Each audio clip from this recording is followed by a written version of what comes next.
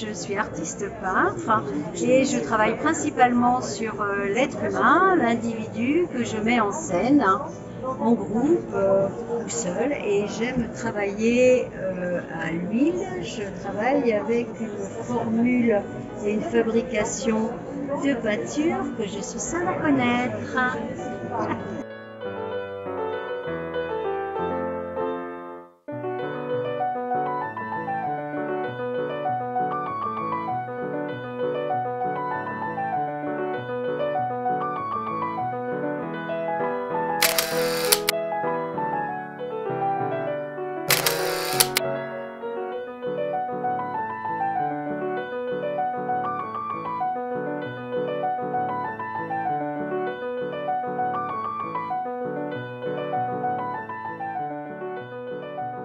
Bonjour, donc euh, Émilie Stark.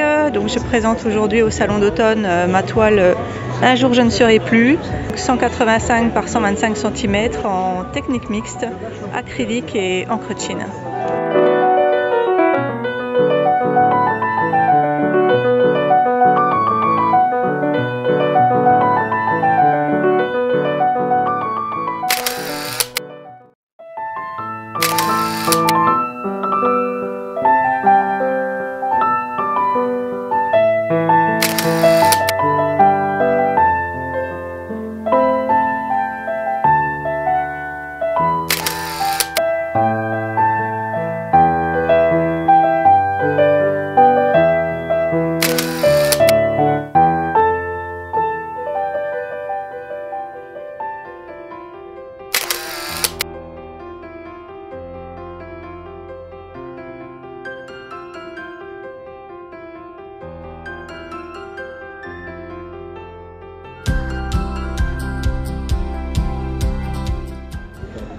Oui, Abdelkader Mskar. Euh, et donc, euh, pas la première fois que je participe au salon d'automne. En 2019, j'ai eu euh, le prix Taylor. Comme on sait, il y a les grands maîtres qui sont passés, sont passés par ce, salon. il y a Cézanne, Picasso. concernant mon œuvre, s'intitule Le Jardin d'Éden. Donc, le Jardin d'Éden, c'est un travail fait sur un matelas récupéré donc euh, c'est de la récupération et euh, le jardin d'Éden, comme on sait, le commencement, c'est le début du monde. C'est le jardin d'Éden, c'est euh, là où il y avait Adam et Ève. Donc Adam et Ève, la, naissance du monde, si vous voulez. En même temps, au centre de ce tableau, j'ai mis un livre. Donc c'est un livre qui n'était pas choisi par hasard. C'est un livre d'un grand critique d'art italien qui s'appelle Vittorio Sgarbi. Donc c'est un livre qui parle de l'art et surtout, ça a été choisi euh, un livre italien, ça rappelle la, Renaissance. Donc ça rappelle la Renaissance. Donc euh, le but, c'est euh, faire un travail humain qui rappelle la Renaissance et en même temps la paix du monde entier. Donc c'est on, part de Adam et Ève et au milieu il y a un seul livre. Ça veut dire qu'il y a un seul livre pour tout le monde. Il y a un seul livre pour tout le monde, toutes les nations, tous les êtres humains. Et, voilà, donc c'est un tableau qui, incite à, la paix et à l'amour entre tous les peuples, tous les êtres humains. Voilà, merci.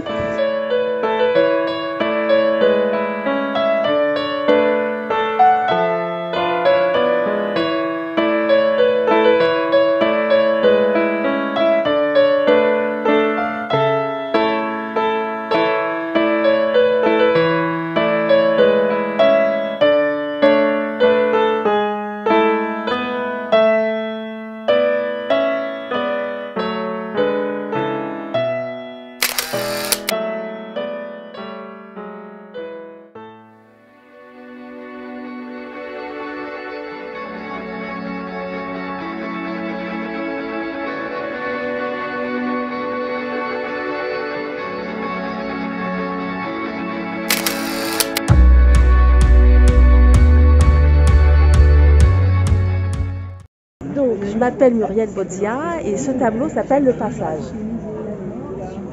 Ce tableau, il est venu d'une photo qui, représentait en fait un, peuple, un, groupe de, personnes qui traversent les océans. Et euh, je trouve que euh, cette idée du passage, le titre est venu parce que euh, on est tous concernés au-delà des, migrations à travers le monde par cette notion de passage dans nos vies. hein. Donc euh, c'est comment on peut rester debout dans les transitions, dans les traversées, et, comment on résiste en fait, comment l'humain est capable de, ré- de résister le plus possible. Alors en termes de technique, c'est de la peinture à l'huile et je démarre aussi à l'encre et je n'emploie pas le dessin, en tout cas le plus tard possible. C'est-à-dire que les personnages, euh, j'ai besoin de faire une rencontre avec eux, donc j'y vais par la couleur, le foncé, le clair. Et à un moment donné, je fais quelques traces quand même pour me remettre un peu le cerveau euh, en, phase avec le dessin, mais le plus tard possible, de façon à ce que toutes les couches de couleurs, quand je les gratte, elles puissent venir vibrer et permettre aux gens qui regardent aussi de se raconter leur histoire à eux pour rentrer dans le, le tableau. Voilà. Voilà, en tout cas, euh, bravo. Euh, sincèrement, je suis touché parce que c'est un sujet qui est, qui est- qui est sensible. Et euh, bah, voilà, bah, et, tout est réuni. le, le sujet, le- les couleurs, euh, voilà, bah, bah, bravo. Je trouve qu'au-delà Voilà. de la peinture, c'est intéressant quand on peut aussi. euh, euh, euh, quand on peint, on ferme le cerveau. Et il y a un moment donné, on a besoin de poser du sens pour aller au-delà, au-delà de juste la proposition, quoi, et faire du lien, du lien avec tout ce qui nous entoure. C'est ça la peinture.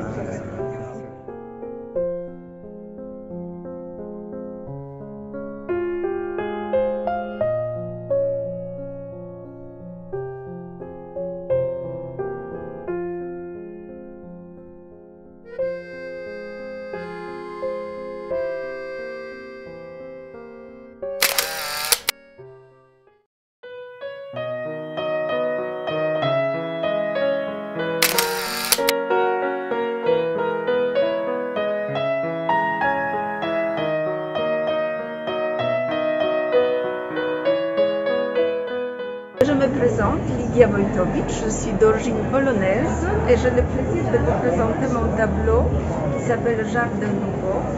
Il a une taille assez importante, 1m60 sur 1m30. Il est réalisé avec beaucoup de matières, les craquelets qui est mon passion de d'épicerie en acrylique pour pouvoir réaliser toutes les couleurs euh, dans tous les sens.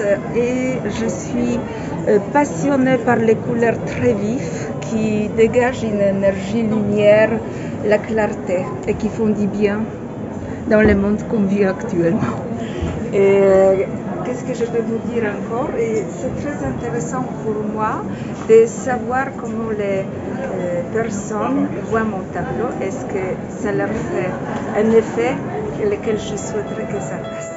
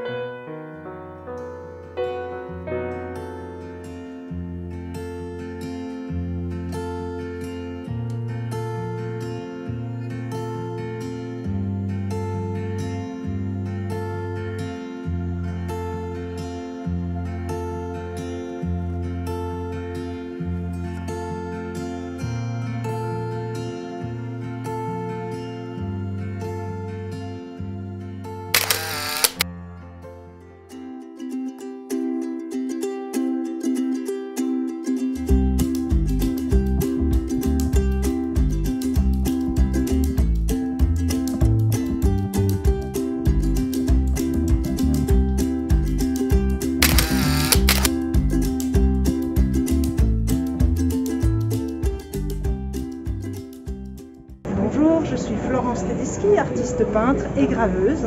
Je vis et travaille à Paris. Euh, donc j'expose ici euh, pour euh, mon étoile, ma toile, Art Capital. Je voulais montrer mes origines à travers cette toile italienne. Et ce qui m'attire particulièrement, c'est surtout la couleur de ces villes, voilà, la, chaleur des villes du sud. Et alors, dans un premier temps, je travaille le dessin en cerné noir. Donc, au départ, c'est juste le cerné noir. Alors, beaucoup me disent que ça rappelle un peu la BD. Voilà. Donc, et après, j'applique la couleur. euh, pour faire bouger les, les premiers plans, les seconds plans, les troisièmes plans, pour donner du volume à tout ça, parce que sinon bien sûr ça serait plat. Et bon voilà, le- ce qui m'intéresse c'est le linge qui pend, euh, voilà, avec les couleurs euh, de l'Italie.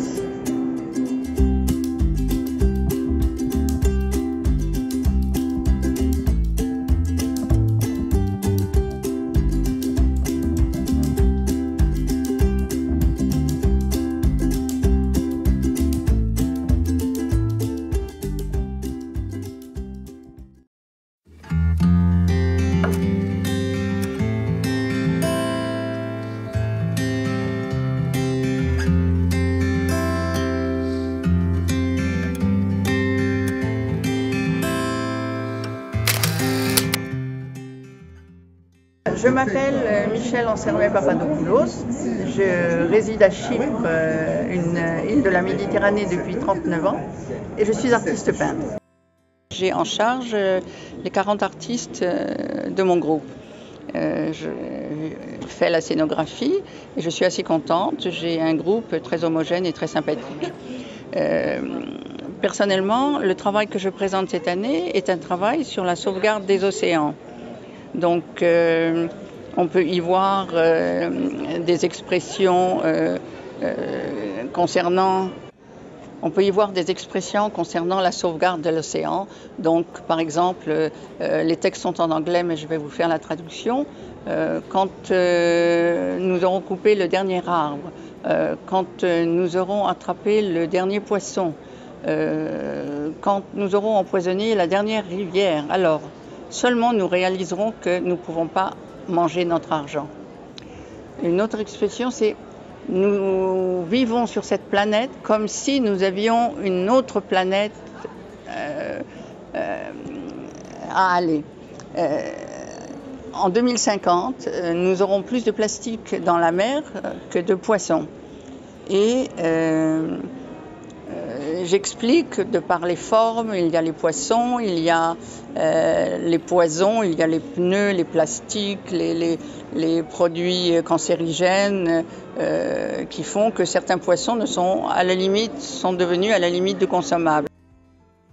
Euh, nous déversons, nous humains, 8 millions de tonnes de plastique dans les océans chaque année. Donc notre action euh, future est très importante. Euh, notre action dans les dix prochaines années va déterminer la hum, sauvegarde de l'océan et de la planète pour les 10 000 prochaines années. Donc il est important que nous prenions en considération euh, le fait que nous n'avons pas une planète B où nous réfugier, nous devons sauver nos océans, sauver notre planète et être beaucoup plus écologique. Alors, ma technique de travail, c'est une technique euh, mixte, dite mixte. Je travaille euh, sur euh, de la toile de lin, pratiquement toujours, et avec de l'acrylique, et de l'acrylique de la marque Golden, qui est une marque américaine qui a des produits extraordinaires avec des pigments de, qualité formidable. Voilà. Donc, euh, mon message à faire passer à tout le monde, c'est Save the Ocean. Sauvez les océans, faites attention, ne jetez pas, respectez.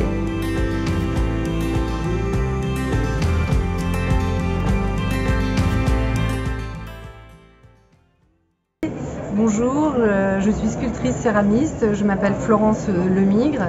Euh, mon, atelier, Jules Verne se trouve en Haute-Normandie, dans le nord de la France. Euh, ce travail-ci, qui a été sélectionné pour le 119e Salon d'automne de Paris, euh, fait partie de mon univers Les Noli Me Tangere. Et euh, cette pièce s'appelle La Florentine. C'est un travail sur la protection des océans. Avec cet univers, j'essaie de rentrer en dialogue avec les personnes qui sont intéressées, sensibilisées, touchées par ma pièce, pour parler de biodiversité, de la protection des océans et de notre rapport à la nature. Alors bien évidemment avec mes armes, avec poésie et euh, en tout cas avec cette pièce-ci, avec beaucoup de couleurs. C'est une euh, pièce en faïence, euh, faïence chamoutée, et à peu près 45 émaux que je crée également dans mon atelier Jules Verne. Et donc c'est une pièce flamboyante, exubérante, très colorée donc. Et c'est un peu ma passion. Donc je suis sculptrice et céramiste, donc j'ai les deux outils en, définitive pour pouvoir parler de ce qui me touche. Je suis une artiste engagée. Euh, la protection euh, de la nature en général, euh, c'est une de mes priorités depuis plus de 30 ans. Et ce travail-ci, c'est vraiment spécifiquement sur la protection des océans. Voilà.